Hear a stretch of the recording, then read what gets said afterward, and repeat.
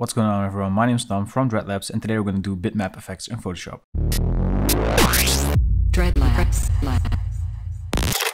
Alright, so as you can see I did a little uh, something here. It's a 3D render uh, of my shotgun that I did for Creatober, uh, as well as uh, some typing. So uh, the back font here is by Hide Typefaces. Uh, you should check them out, I'll put a link in the description, because they have some very cool fonts for a very low price. So basically what the bitmap effect is, is an image and all the black and white value or all the color values are basically converted into smaller dots.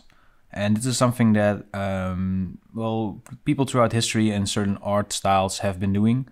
Um, so the only uh, actual colors that are in a bitmap image are just, just plain black and plain white, basically like the threshold filter in Photoshop. So that means if you want to add color, uh, you should do it later uh, because uh, converting it into a bitmap uh, will remove all the colors from your Photoshop file. So yeah, basically just a heads up for that. So what I have here, let me just ungroup this.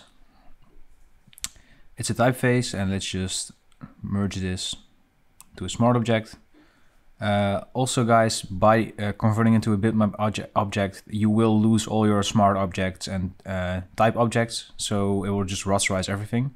Uh, so be aware of that as well. Alright, so the first thing I want to do is if you go to image mode, and if your image is set to RGB or CMYK, uh, which is probably uh, most of the times the case, you should convert it to grayscale because bitmap is grayed out as you can see.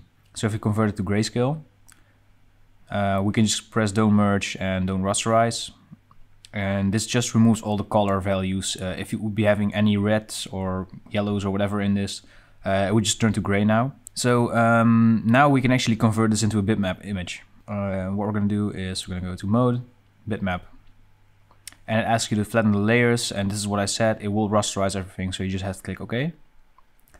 Um, so the first thing that I'm going to show you is there are some different options here. And I think the one that's used the most is halftone screen. Um, and yeah, the resolution of your image, um, most of the time for digital, uh, it's 72 uh, pixels per inch.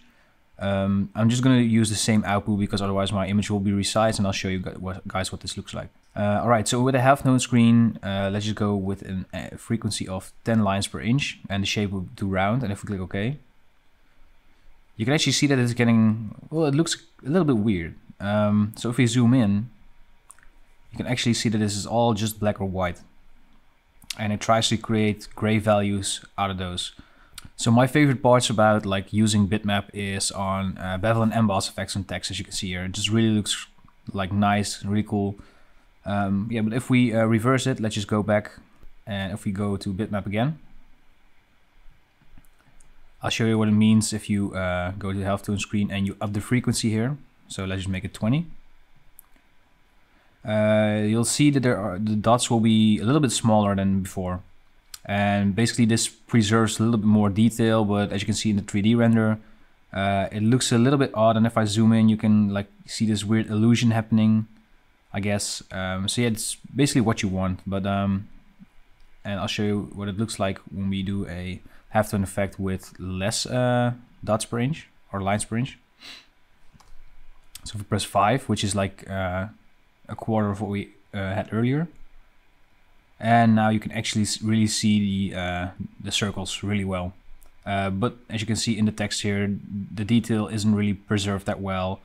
And it looks a bit wonky. So another version of bitmap that I really like is the pattern dither. And um, I'm just gonna put the output in the same settings as it is, like uh, right now. And if we click OK, if I zoom in, so the pattern dither is basically, it makes a cube or a square and it just fills that square in with a pattern. And as you can see, um, the more the darker the parts, the more black little squares every pattern has and lighter uh, the more white squares every pattern has. Um, so I feel like you could do some really cool stuff with this one as well. Um, yeah, I really like this on the bevel and emboss textures. Uh, so yeah, this is one of my favorites definitely. All right, so let's just go with a 50% threshold. And as you can see, this doesn't really leave anything uh, to be seen, and that's because my uh, image is a little bit darker. Um, and basically what this does is, if you go to adjustments here and you click on threshold, this is the same result, but yeah, because it's uh, 50% threshold, you can't really modify these. So if we drag this one in, you can see more detail coming in.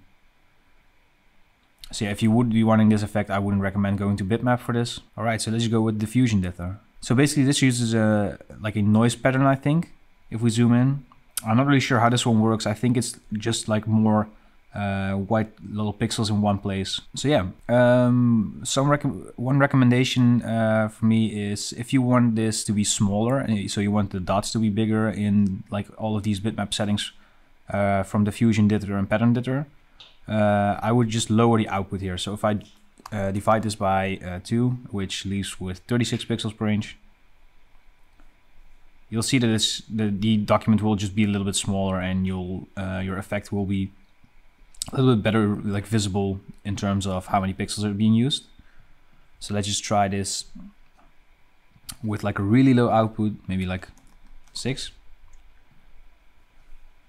yeah, as you can see, it's just some pixels here. This could be cool for some projects. I'm not really sure if you really want to convert something into a lo-fi uh, image.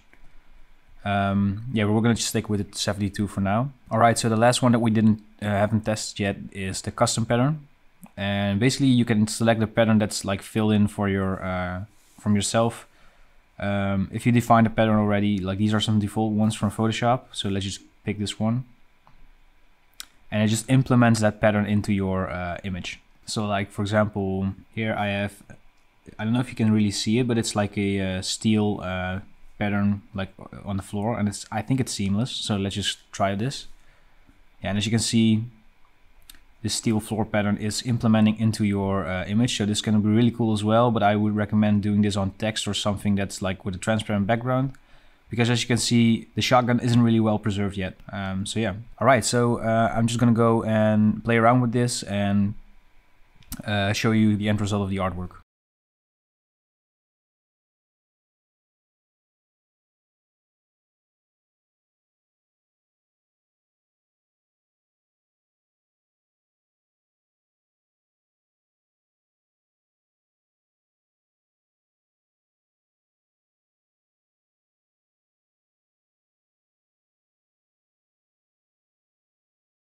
Alright, so I did around, played around with some of the uh, effects here. And as you might have noticed from the uh, quick little time lapse, um, when you convert it to in, into a bitmap, um, you can't really like play around with the layers anymore in Photoshop. And that's because it's a bitmap image. Um, so what I just recommend is copying what you have and put it into a new document with the same size and you can just play around with it there. And there's something that I uh, forgot to show you guys. Uh, so let's go back a little bit. Um, so if we uh, go back into this and we create another bitmap effect, uh, under the options of halftone screen, you can actually uh, play around with uh, different shapes that will make the halftone screen.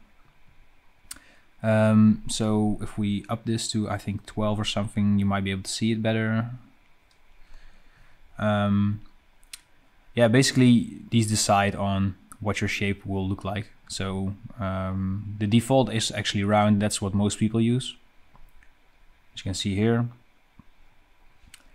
But if we pick another one, yeah, you can actually see, for example, here we use lines instead of like uh, uh, ellipses or circles. Um, so yeah, I encourage you to play around with these yourself and see which uh, method you like best and uh, yeah, dabble around with it. Uh, now I'm just gonna continue on my artwork here, uh, see what we can do with it.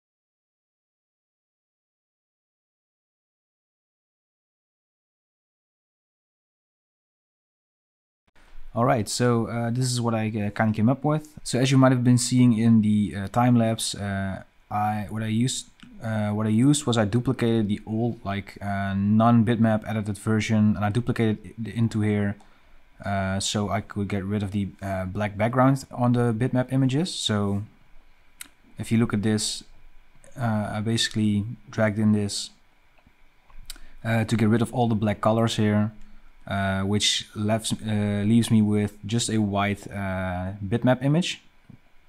Basically, if I would drag this over another color, uh, you could only see the white one, uh, parts and it's a little bit hard to read. So I duplicated the original text in here. I just gave it a color overlay that's black. So the background would be black and I gave it a stroke to outline it a little bit better. Um, just to give you an idea on how to play around with the colors of a bitmap image. Some other things you could be doing are adding a gradient map to it so you can convert the white and the black to another color. But yeah, for this video I chose to like kind of uh, stuck with uh, the bitmap effects a little bit so I could show you guys uh, what, what they're capable of, I guess. Alright, uh, that's it for this video. Uh, thank you so much for watching. If you have any questions uh, regarding bitmap effects, please leave them down in the comments or you can join us on Discord. I want to take this time in this video to thank my patrons. Because of my patrons, I'm able to create more content for you guys, and that means more tutorials, more social media content, more videos. Um, so yeah, basically uh, supporting me and really helps me out. So thank you so much. Uh, so if you don't know, um, if you become a Patreon, you'll get access to all of my project files from my tutorials, uh, a 15% discount in the Dreadlabs web store, and a Discord role as a Dreadlabs insider. Uh, so yeah, thanks again to all my patrons. Uh, thank you for watching, and I'll see you in the next video. Bye.